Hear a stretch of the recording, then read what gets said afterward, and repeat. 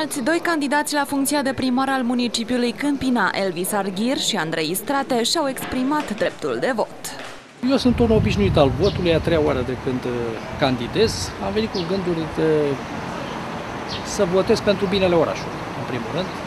Asta mă interesează și, în al doilea rând, am ținut cont că e și vremea frumoasă afară și zic să, să profit de dreptul pe care l-am, ca orice cetățean, de a vota. Îndemn pe cetățeni să vină la, la vot, ținând cont că este vremea frumoasă. Gânduri cât mai bune, sper ca majoritatea câmpinilor să participe la vot astăzi. Votul este important, nu atât uh, pentru o persoană sau alta, cât uh, să fiecare să poată să-și exprime opțiunea pe care o are și într-adevăr să fie cineva care să, să iasă, cineva care să ne reprezinte opțiunea noastră.